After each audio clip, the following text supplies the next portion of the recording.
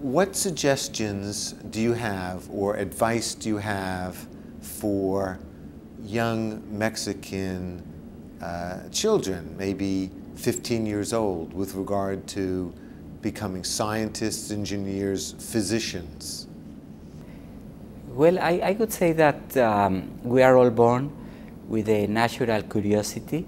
We can see this in babies or in children that they really explore the world that surrounds them. And I would say that uh, perhaps there are temptations, let's say, or uh, some um, some um, movies or TV shows and so on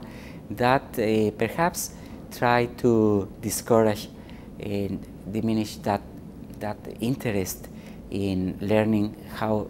the world that surrounds us is uh, and I, so I would say that they should keep that interest and that curiosity. And of course and uh, the same way that there are many perhaps uh, many uh, distractions that might um,